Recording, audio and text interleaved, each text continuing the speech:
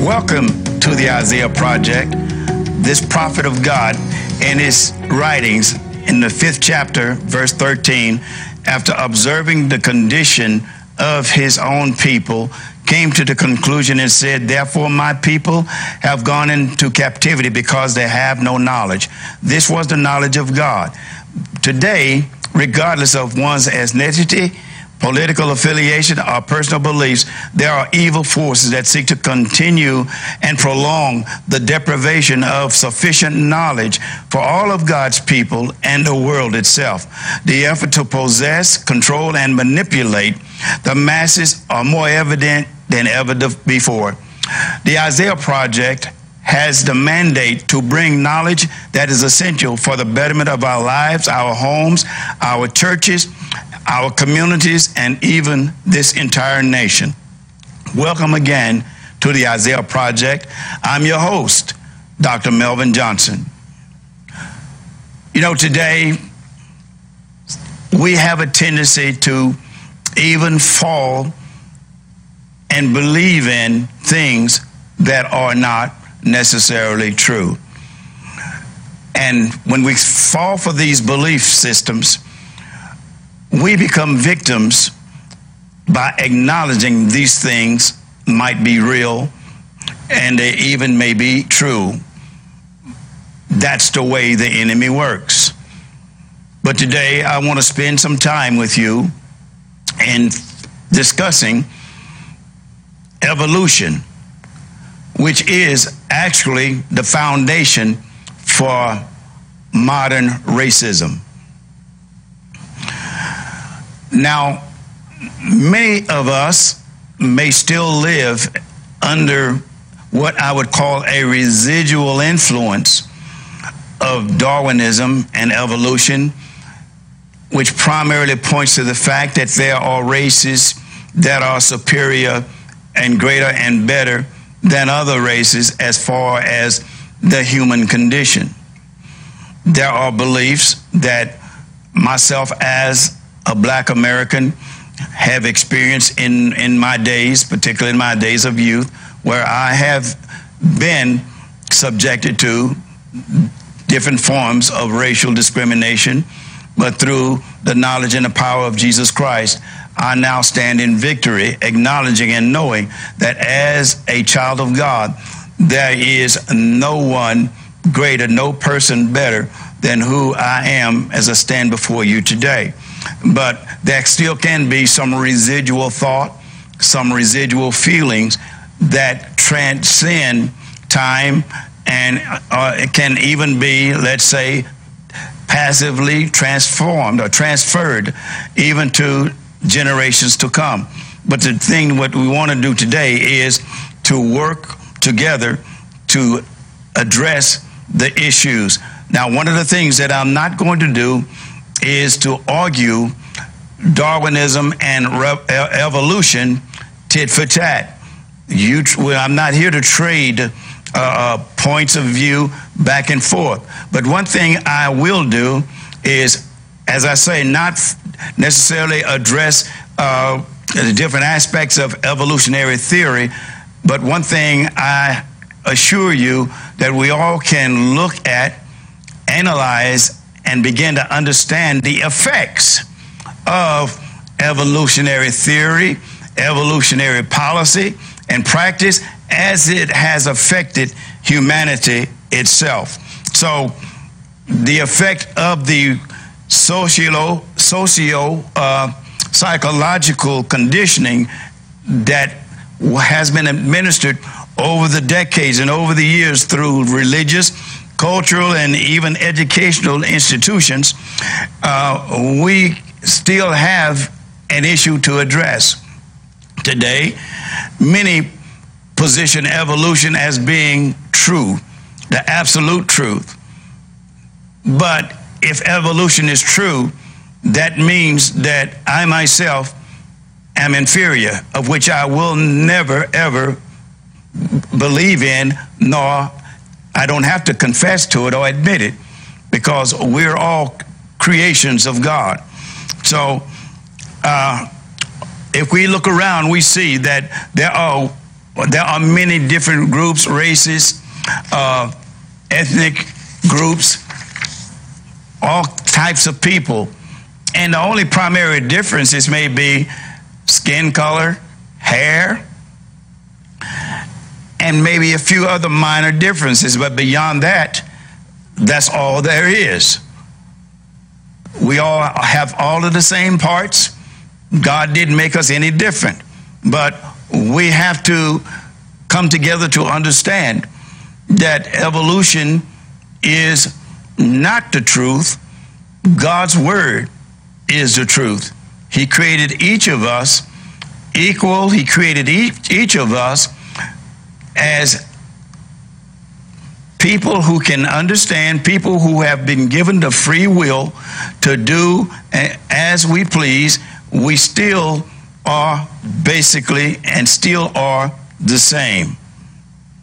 So, in taking an examination of evolution and as far as how it has been such a major tool in the racial agenda that has affected this entire earth, this entire world, let us go back for a moment and look at the one who is credited to have been the, uh, let's say, the uh, founder of modern evolutionary thought, and I mean Charles Darwin.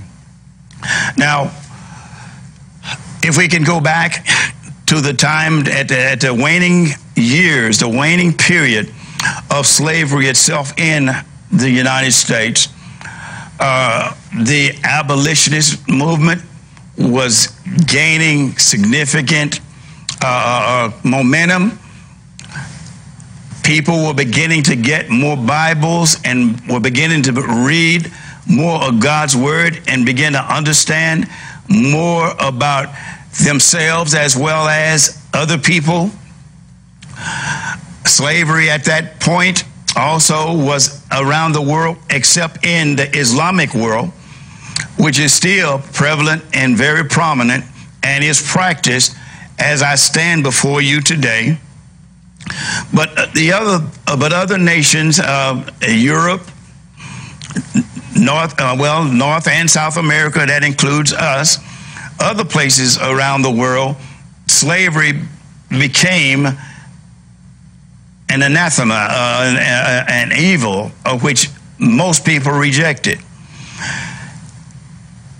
But at that time, let's say in the mid 1800s, and we get up to the point where we have the Civil War and we have uh, the South losing. But something had happened right before that. Again, as I say, as people began to understand that that uh, people are all people are equal, even the slaves they were not they should not have been slaves and people were beginning to have their minds changed. In the year 1859 charles darwin came forth with his book origin of species. And so uh, i want to spend a little time again focusing on him. And in essence he came his writing his, his book itself was initially written to justify slavery and uh, in the case of Western civilization, the underlying cornerstone for racism um, became the work of the English naturalist Charles Darwin. So, Origin of Species, when he published it, he his the initial uh, number of books that were uh, published were about 1,200, and they were grabbed up almost immediately. And we see it today as a systematic theory of logic and reasoning who, which rejects God and establishes the white race as the rulers, as a supreme superior group uh, in this world. And uh, it is not the exclusive doctrine of the atheist who lives without the creator. It is not just the atheist uh, it was also absorbed into many Christian uh, cultures and many Christian groups that thought on the, um, you know, uh, of a superior group of people.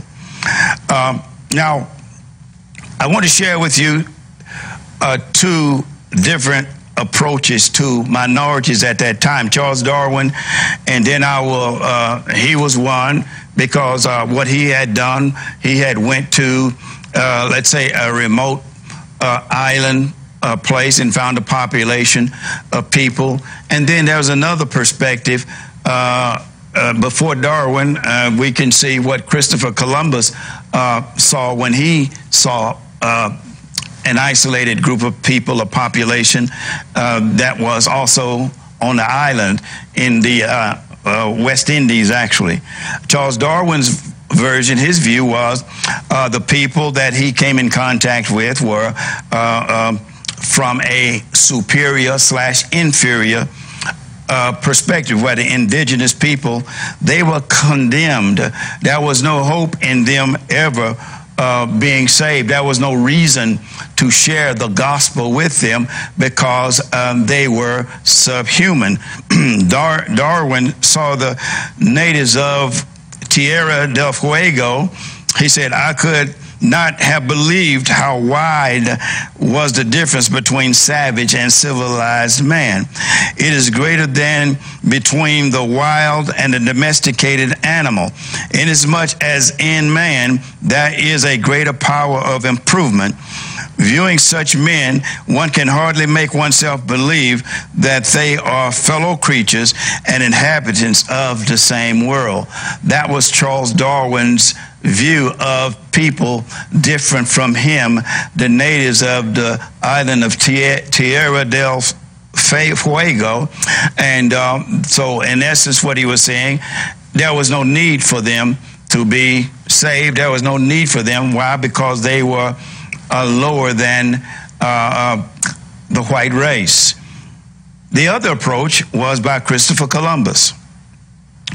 And uh, like Darwin was the case of su- superior, inferior, Christopher Columbus's uh, perspective was what I call uh, a, uh, a need versus provider. Okay, or need slash provider.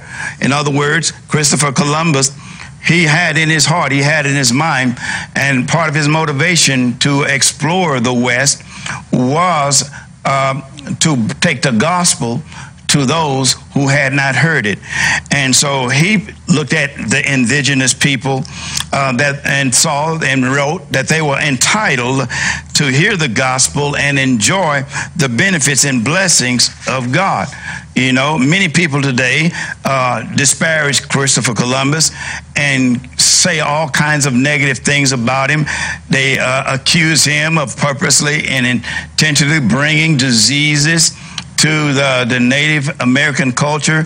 They accuse him of being a racist, and but but that that is history being rewritten because I, as I repeat one of his quotes in his log, he described the natives as being friendly and well dispositioned, having handsome bodies and very fine faces, with eyes that were very large and very pretty.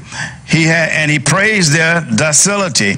He conducted, he concluded, I think they can easily be made Christians, for they seem to have no religion. He wrote that on October the 12th in 1492 into his log. So those are two different views of humanity other than whites in the superior race. So we, if, if we recognize that, uh, it, it, would help us to better understand uh, uh, the effects, and I mean the negative effects of evolution itself. Uh, we call the practice of being racist institutionalized racism. There are two heads of it, there are two groups um, there's a religious group, as I had uh, quoted uh, Charles Darwin. I'm sorry, uh, uh as I quoted, uh, uh, yeah, Charles Darwin and his perspective. And um, then there's a scientific group. I include him in that group also. Uh, the uh, institutionalized racism is it believes in the uh, from the scientific view. It, it believes that the most evolved species of man rules all things, including the lower species of men. And it's important that we who are Christians to uh, stay with uh, God's word and to use the scriptures that we may be able to uh, confront a racist ideology, particularly within the body of Christ. this is called nouthetic confrontation. And I'll share a scripture with you out of Colossians uh, 3 and 16. And this is what Paul urges. Um, and, and, I'm going to use. Uh, I'm going to use uh, the translation uh, to nouthetically counseling or nouthetically confrontation confrontations to make my point. And uh, in Colossians 3 and 16, Paul urges us, let the word of Christ richly dwell within you with all wisdom teaching and and this is for the for for the moment with the translation confronting one another nouthetically challenging one another when we find ourselves out of the way or, away from God's true meaning and true word. What is an example of this? Paul himself had to deal with a race issue and uh, he uh, had to nouthetically confront Peter. This is found in Galatians, the, chap, uh, the second chapter, verses 11 through 14. And the account of it goes of that event goes as follows, as Paul writes. But when Peter came to Antioch, I withstood him face to face. I challenged him nouthetically because he was to be blamed. For before that certain came from James, he did eat with the Gentiles. And but when they were present, he withdrew and separated himself, fearing them that which were of the circumcision. And the other Jews disassembled likewise with him, inasmuch that Barnabas also was carried away with their dissimulation. In other words, at Antioch, when Peter was there and no other Jews were around, Peter fellowshipped with the Gentiles.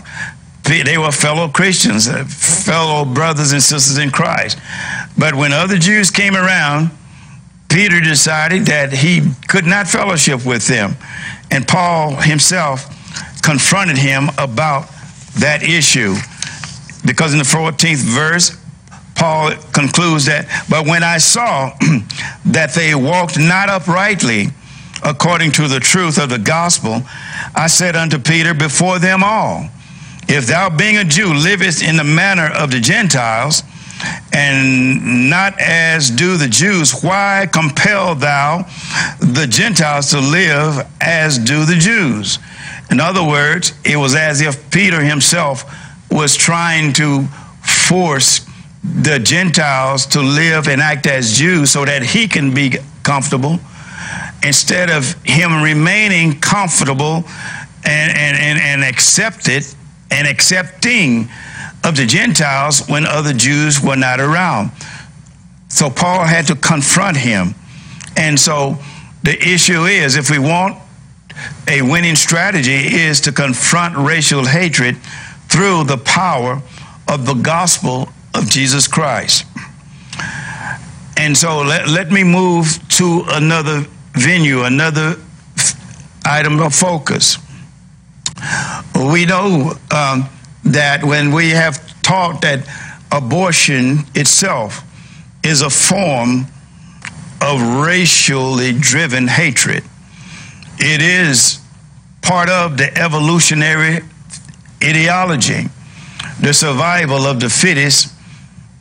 And, it, and one of the points, uh, one of the premises of being able to survive as the fittest is to eliminate and or control the population of what may be considered the unfit.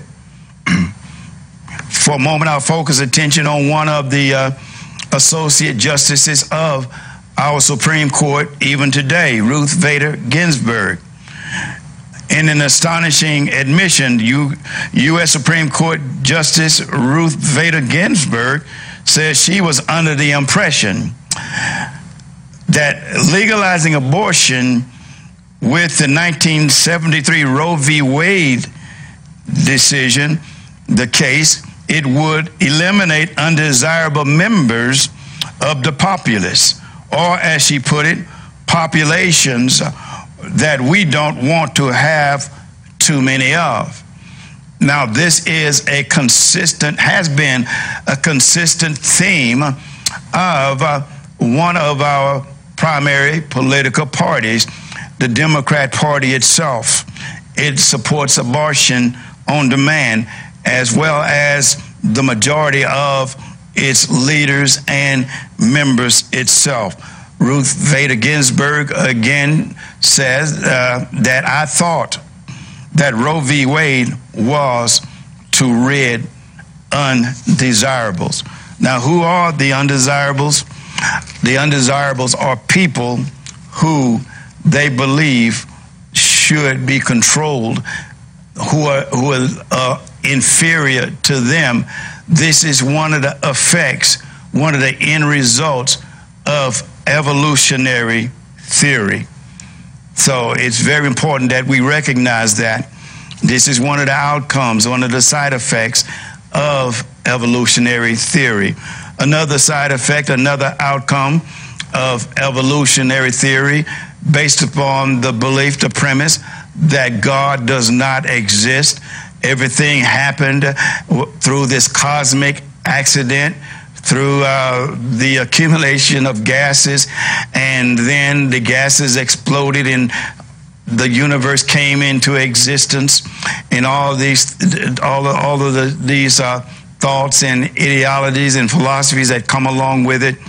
Uh, here we are as living, thinking beings. And through evolutionary policy, there has to be some form of order. In other words, who or what controls humanity? Is there confusion? Is there chaos? man's effort, aside from God's word, his effort is to establish rules and regulations and laws of itself. And this is what we call government, a system that is designed to keep order in society. now, I want to make a comparative study real quickly between God's word and creation as compared to evolution itself. First of all, we can look under our belief, our faith in God, our knowledge of God. We know that He is a moral God. Evolution says that there is no God, man is our laws, particularly even in this nation, our, our constitution, our beliefs, our heritage from the time of the founding fathers even up to today. We know, we believe, and, and, and, and accept and practice the fact that the laws come from the Creator, God Himself. Evolution says that man, that these laws, man's laws should come from man. He's the organizer and the uh, supreme person, the supreme man. He writes the laws, he enforces the laws. He is the one who is the source of order in this world. And I'll show you uh, a little bit later that when we try to place man in that position, man causes more chaos and turmoil than anything else can happen. Thirdly, where do we get our rights from? As we look at the Declaration of Independence, we see that our founding fathers acknowledge, they recognize that every human being, every person, every person born and even yet to be born we have certain unalienable rights. And these rights come from the Creator. And among these rights are the rights to life, liberty, and the pursuit of happiness. We appeal to God. We see God as the supreme uh, arbiter of the human experience. That we get our laws, our rights, everything comes from Him. But on the evolutionary side, human rights are granted by the government and we can look around and we can see, and I'll share with you uh, some more information on this.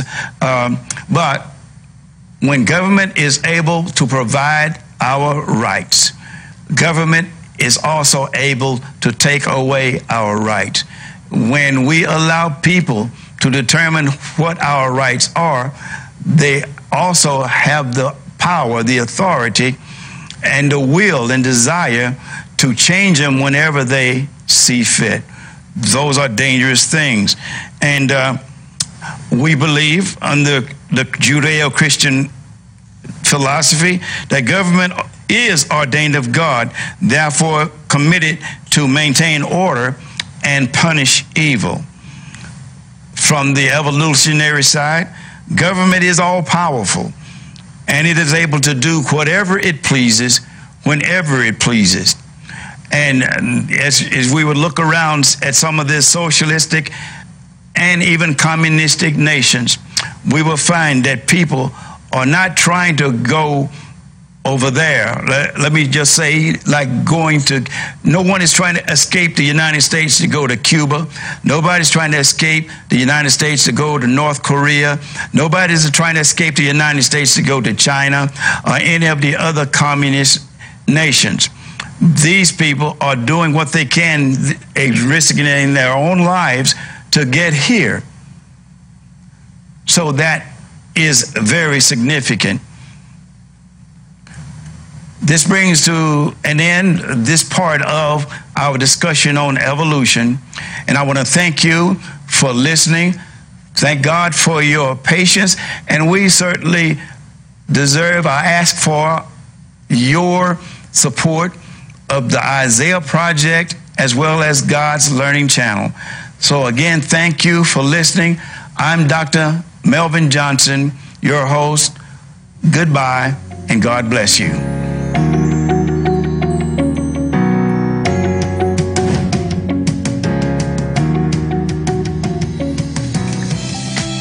Order your copy of this program from the GLC bookstore by calling the numbers or visiting the website on your screen. Please include the program number when ordering.